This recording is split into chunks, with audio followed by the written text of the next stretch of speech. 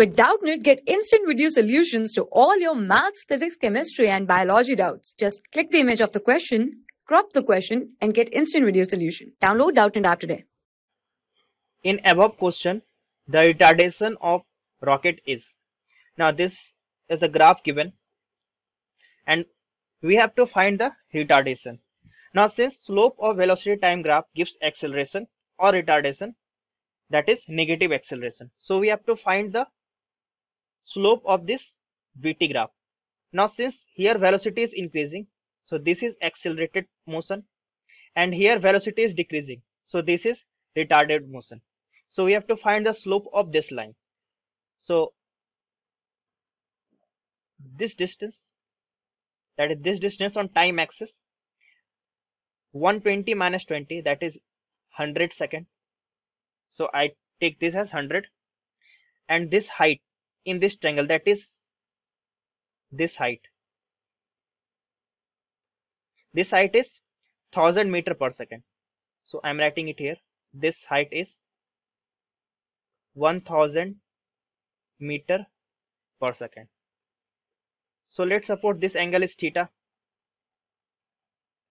So I can write retardation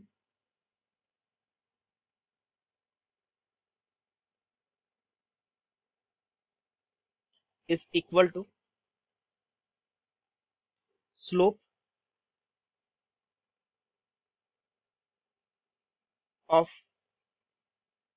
Vt curve is equal to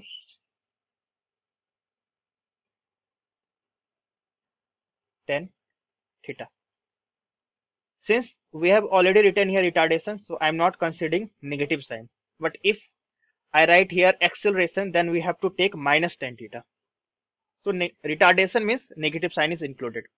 So now tan theta in this triangle will be perpendicular upon base that is this 1000 meter per second upon 100 second that is 1000 meter per second divided by 100 second so it will be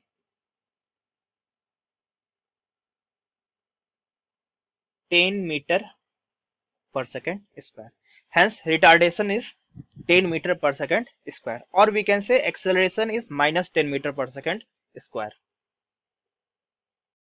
For class 6 to 12, IIT JEE and NEET level. Trusted by more than 5 crore students. Download Doubtnut app today.